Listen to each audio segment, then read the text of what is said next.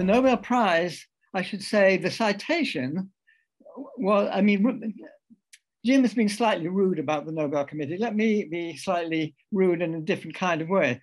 They uh, said that I, that I got the Nobel Prize because of showing that black holes were a robust prediction of the general theory of relativity. That was extremely flattering because what I actually showed was not the black holes were robust, no, robust, no, a robust prediction of general relativity, but singularities are. So that's really what I showed.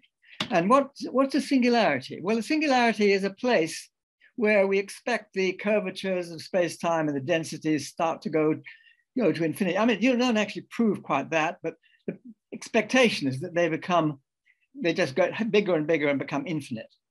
And so the usual view, certainly this was a speculation I put in the paper, was that you had to resort to quantum gravity. So that quantum gravity, whatever that theory is, would be the way to deal with singularities. And that was a view I held for many years, and I think I still hold it. But I want to say something um, that is a little bit problematic about this whole question. Can I move to the second slide, please? Um, this is just to show you the sorts of pictures I'm drawing, which will be describing four dimensions, even though you can't do that very well in a plain piece of paper. But I'm indicating that we have three spatial dimensions and one time dimension. The time dimension is usually pointing upwards, so time increasing upwards. And the cone that you see, or a double cone, I just have the top half in that in the picture that you just saw in the paper, the Nobel Prize paper, but the usually I will draw both parts of the cone. Can I have the next slide, please? So that these things will be sort of scattered all over the picture. Next slide, please. Um, now I want to talk, you see, shortly after I discovered the result that, that I had just referred to, I gave a talk at King's College in London. And according to the movie, Stephen Hawking was there and sparks were coming out of his head or something by being inspired by this lecture. He wasn't actually present at the lecture. Um, so that was a little bit funny, but I guess these movie things aren't necessarily uh, factually accurate. However, it's not so bad because Dennis Sciama, who was somebody I learned a lot of physics from, was in Cambridge and heard about my talk, and I gave a repeat there. And Stephen Hawking picked up very quickly on the techniques that I was using. I had a private discussion with him and George Ellis, and uh, I just mentioned more details of the techniques I was using. Now, Stephen then started to generalize these ideas and apply them to the Big Bang.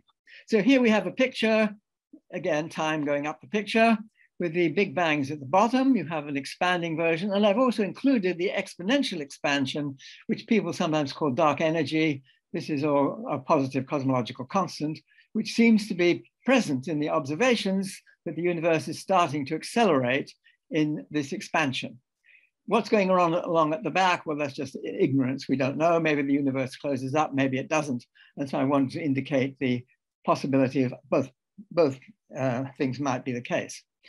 Anyway, the theorems involved showing that, like, like the theorem I had, which showed that a, a collapse could be something very symmetrical as the sort of standard uh, classical model that you could produce. But the theorem says that if you had a complicated model, it could be, you perturb it away from that, you still get the singularities. And what Stephen showed was if the Big Bang was perturbed, you would still get singularities. So they were very like each other, very like each other, except, now can I have this next picture, please? If we turn the picture upside down and we imagine the time is still going up despite the blue arrow, ignore the arrow, this is just the slide turned upside down, but the time is going up. We're imagining a collapsing universe and let's suppose it's a bit like our universe, but collapsing with these complicated things in it, like galaxies and black holes. These black holes will get more and more, they will run into each other, congeal, as Martin was just explaining, and create not a nice, simple Big Bang like the time reverse of what we're seeing in this picture, but uh, I mean, this what we see in this picture, like the simple Big Bang, which is pretty uniform all over the universe, but you will see an incredible mess. Can we have the next picture, please? Something much more like this, which is showing the congealing of all sorts of black hole singularities. These things where the, um, that's the general gen generic picture. In fact, you can work out how generic it is by using the Hawking formula for the entropy in a black hole, and you come to one incredible. Uh, can we have the next slide, please? You see, suppose this was the big, you see, this is so much more likely than the other. I mean, I would, don't even want to write it down. You have the number of zeros in, in how much more unlikely it is, it is. Let me not go into it. It's absolutely enormous. This is extremely improbable. If you're just considering the sorts of general Big Bang that you could have, this is extremely improbable. Very extremely, extremely, extremely improbable. There's no reason in the theory why you would not get a mess like this. So I would regard this as very strange. If, if, if um, quantum gravity is supposed to be the explanation for what happens in the physics, then why do you get such a completely different answer for the Big Bang from what you get in the singularities in the remote future? And I puzzled about this for a long time. And I thought, well, maybe quantum gravity is just a very, very peculiar theory. I'll talk about this in the next talk, which I'm supposed to give later on today. That's another topic altogether. That's not the conclusion I want to discuss here. I wanted to have a different attitude to this, that it's not really a question of quantum gravity. Let me go to the next slide and, and talk about on some of the other issues. Oh, this is just showing the general picture that we do see, not like the one we had before. Some very, very smooth sort of Big Bang, which is constrained in a way which, well, some people say the reason it's smooth is because, next slide, please. The current theory, according we heard a talk by Mukhanov earlier today, explaining the idea of inflation, which just says there was in the very early, near the Big Bang, was an extraordinary expansion of a different kind um, and there's lots of sort of observational indication that maybe there was such a thing. Can I go to the next picture, please? Next slide showing you if you have a magnifying glass held up against this, what do we see? Well, we see something, according to the theory, where you had an exponential expansion. Sort of like our universe. It's as though the universe started, started with this exponential expanded, changed its mind, and then it did again later on. Which seems like a very strange picture to me. I never quite liked the idea of inflation. And can I have the next slide, please? Um, next slide, please. Let's talk about something else, which is the second law of thermodynamics. These questions are highly related to the second law. What does the second law say, roughly speaking? Well, it says entropy on the whole increases with time.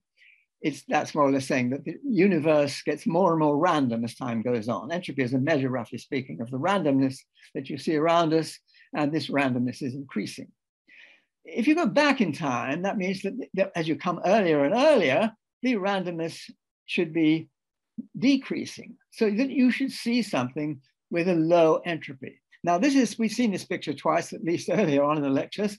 Uh, this is the COBE satellite picture of the microwave, bang, microwave background intensity, where the intensity of is going up, that's the up, in, and, the, and across left to right is the frequency. So as you go, you see this beautiful curve and you see these error bars. Now I should explain that these error bars are magnified by a factor of 500. So they should really squash down. Even the worst one right at the right is still, when you squash it down by a factor of 500, is well within the thickness of, of the incline. It is an extremely close observation of this Planck curve. Now, what is the Planck curve telling us? This is put forward as, as part of the origin of quantum mechanics. It is the curve which indicates maximum entropy, maximum entropy. Now, this struck me as a very odd thing. You're looking at the earliest, you're looking back and back and back, the earliest thing you see directly, which is the microwave background. And instead of seeing a very low entropy, you're seeing maximum entropy. And this struck me, why aren't people worrying about this very strange thing? Well, the answer, can I go to the next slide, please? Is more or less because of, well, you see here I have time going from left to right. The top three pictures are something like a material in a box, a gas in a box. You started off with a smaller box, constrained to be in one corner, you open the box and it spreads out through the, through the box. So you're seeing as entropy increases, the uniformity of the distribution increases. What, well, I think Jim Peebles also mentioned this phenomenon. What about when you introduce gravity? When you introduce gravity, let's imagine that the box on the bottom left is really a, a huge galactic scale box full of stars. They start to clump together and they produce black holes. This again is entropy going up. So left to right is increasing entropy, but the picture looks almost the opposite. You have for, the, for everything but gravity, more or less, everything but gravity, increasing entropy corresponds to in, entropy, increasing uniformity. But for gravity, it's the other way around. So what we see in that Planck curve that I was just showing you is that the matter, yes, that is a very high maximum entropy state. But what we're also seeing, not from that picture, but from the uniformity of the, uniform, the microwave background all the way around, is telling us that the gravitational degrees of freedom are very constrained. So that's where the entropy was low in gravity. Next slide, please. Now, I want to tell you how you talk about gravity as opposed to matter. This is just a picture, basically, of the Eddington observations of the early uh, prediction of general relativity, that the star field would be displaced outwards.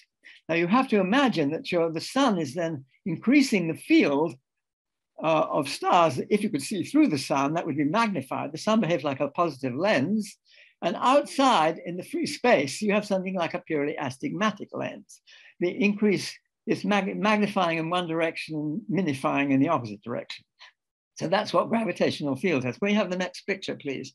This is showing you more or less what we see. The um, us at the top looking back at, that's our past like cone, we're looking back.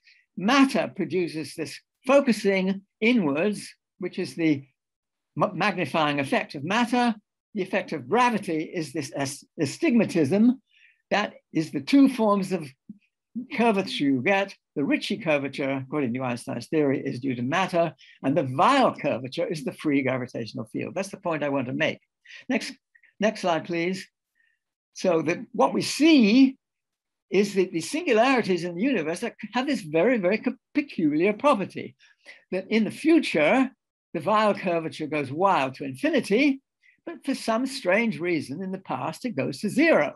So whatever theory you've got, if it's quantum gravity that explains it, it's got to be a very, very peculiar theory of quantum gravity, which is hugely time asymmetrical.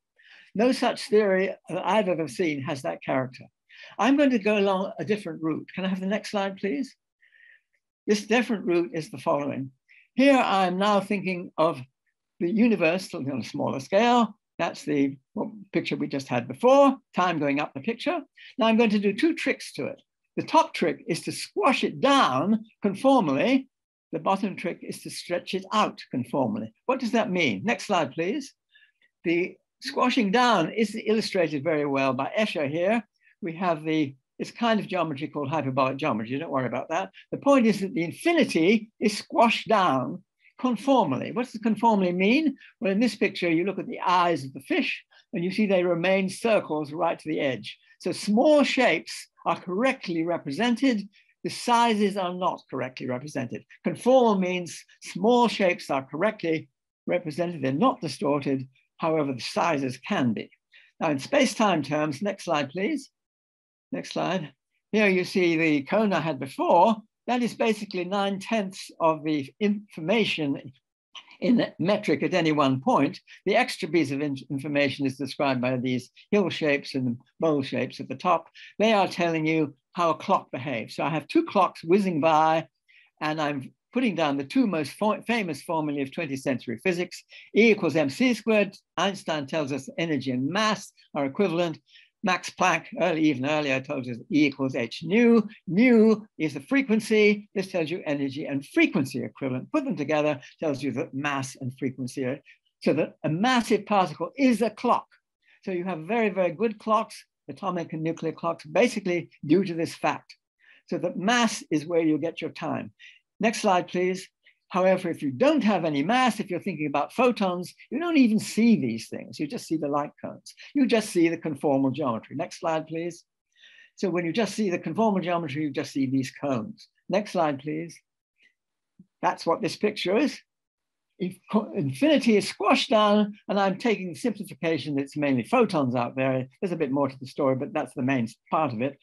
Photons are conformally invariant. They go with the speed of light. They don't notice the size. Maxwell's equations are completely invariant under squashing, conformal, crossing, and stretching, so that they will be preserved massless things like photons don't notice it. What about the Big Bang?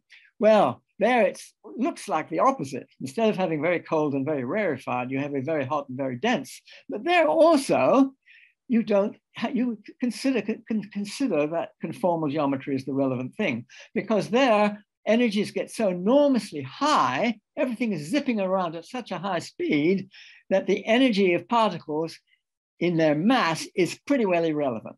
It's almost entirely in their motion, and therefore they are effectively massless. So again, you can consider that the conformal geometry is the right way of looking at physics. And my colleague Paul Tod had a nice way of saying what is special about the Big Bang is that you could, in principle, conformally, if you just drew this picture, you could continue it out to some fictional pre-Big Bang model. Next slide, please. That was not outrageous. What is outrageous is this. Our eon, I'm calling it an eon, that is the Big Bang to our remote future, is this little tiny bit in the middle. It looks like this little, well, like a, uh, tree, if you like, with a coconut tree or something with, with these little segments to it. And we're one of these, I'm calling that our cosmic eon. It, that's our big bang stretched out to make it nice and smooth according to the, the curvature, the Weyl curvature hypothesis, which I put is that the Weyl curvature goes to zero. It does in this picture, and that allows it to be matched on to the swashed down remote future. And it makes physical sense because when you squash down a very cold and remote, um, uh, non-dense um, remote future, the temperature goes up and you can have a reasonable temperature. When you stretch out a very hot and dense Big Bang, the temperature comes down. And I thought for a long time they seem awfully like each other. This is, I'm going further than that, I'm saying they really do match. But there was something before the Big Bang. And because the physics at the join was effectively conformally invariant physics, the mass has been squeezed out of the picture. You have to do a little more hard work to make that make sense, but it's not crazy. You can, it does make a sensible theory. Next slide, please.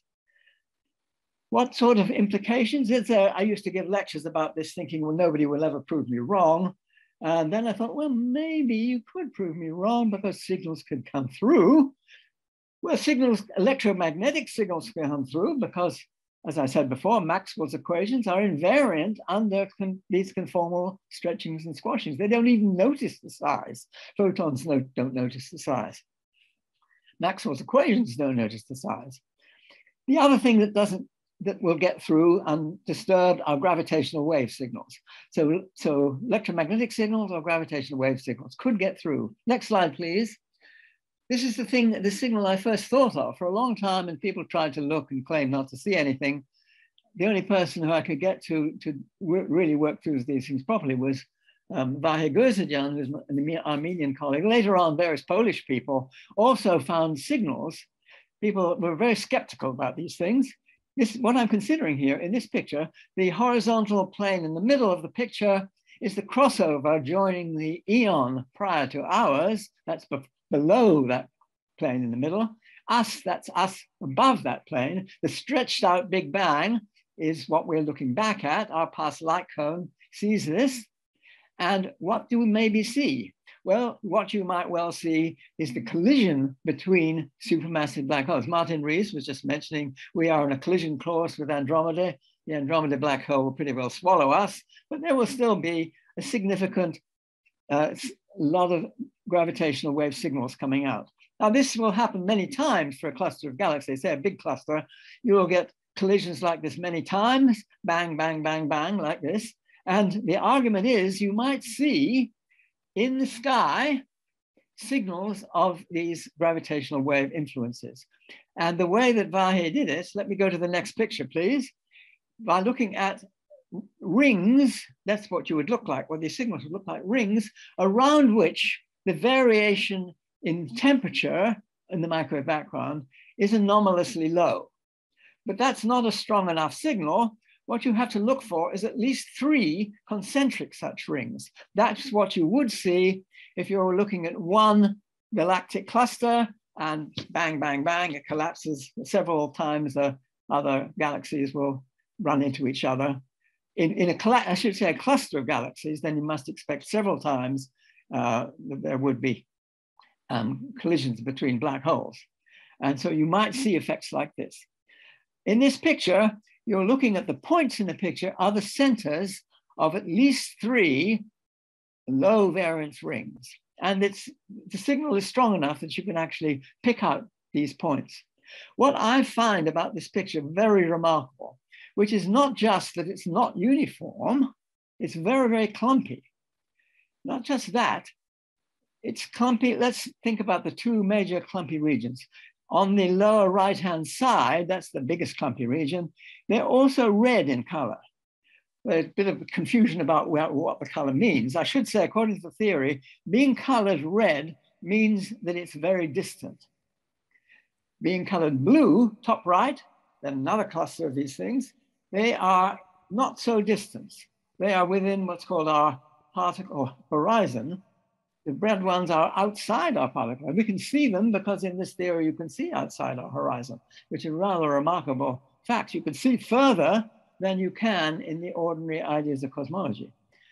What's remarkable is that they're not signaled out, signaled out for their color, they're singled out for their location in space. And you see that there is a clumping in the color as well as in their location, their angular location. What does the color mean? Well, according to the theory, the red ones are distant. So they are clumped in location, but in distance from us. So you're looking at, a, according to the idea here, a clump of objects which are um, very, very highly clumped, not only in angular relationship to us, but in distance. And the blue ones at the top also. They're not random. This is not what I expected at all. It's not what anybody expected there's this thing called the cosmological principle, which says on the bigger, bigger and bigger and bigger scales you look, the more uniformity you get. What I'm trying to throw this out for you is that whatever it is that's producing this picture, even if it's not what I'm saying it is, you need, an ex explanation that is extraordinary non-uniformity. I should say that the Polish people did a completely different kind of analysis. They also found uh, clumpiness. They also found a significant picture they gave a confidence level of, I think it was 90, about 99.5% uh, confidence, which is not enormous, but you should, says you should pay attention to it. There was another effect, completely and utterly different effect. People get them confused, which is what happens to a, galactic cluster in a very remote future. These are things which I call Hawking points. They would produce spots in the, in the cosmic microwave background, these little spots which would be spread out to something like eight times the diameter of the full moon. And we see such spots. Those spots are seen in the cosmic microwave background with a confidence level of 99.98%. The size of the spots, there's a little bit of an argument about that, which would be nice to get sorted out. Some people say they ought to be a little smaller than we see, maybe so, but that's the secondary issue what we happen to see is spots of that size, no bigger, no smaller, of that particular size, and that's what the theory says they should be, and they um, seem to be there. Where, what do they come from? They don't seem to come from current cosmology. They could come from the scheme which I'm trying to promote. Thank you very much.